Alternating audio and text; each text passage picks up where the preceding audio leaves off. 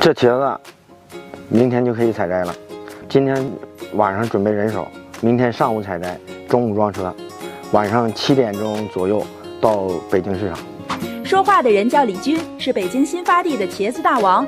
他在新发地一天就能卖出七八吨茄子。这不，眼看又有一批茄子要上市了，李军又来到了自家的菜地里。只不过这菜地可不在北京，而是在河北衡水冀州。北京的蔬菜大王为什么要到冀州来种菜？这事儿还得从头说起。衡水冀州区距北京不到三百公里，交通便利，自然环境也适合种菜。冀州给北京供菜也有不少年头了，但菜农的收入却一直不高。为了解决这个问题，区农业农村局决定带着种菜尖子生们出去闯一闯。一番接触后，他们把北京新发地市场里的一些单品果蔬大王给请到了冀州，像什么茄子大王、生菜大王、西葫芦大王都来了。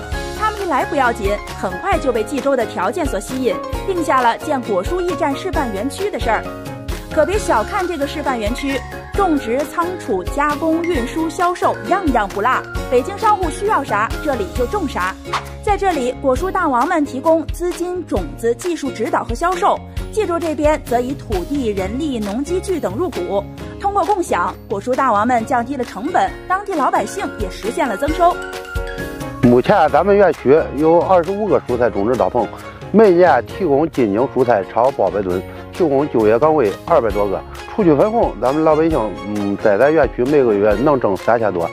如今尝到甜头的衡水冀州和北京新发地的手拉得更紧了，已经跟十余个单品果蔬大王建立了合作，双方签约蔬菜种植面积达到了近三万亩，打通了西葫芦、生菜、草莓、鲜品辣椒等多条直供渠道。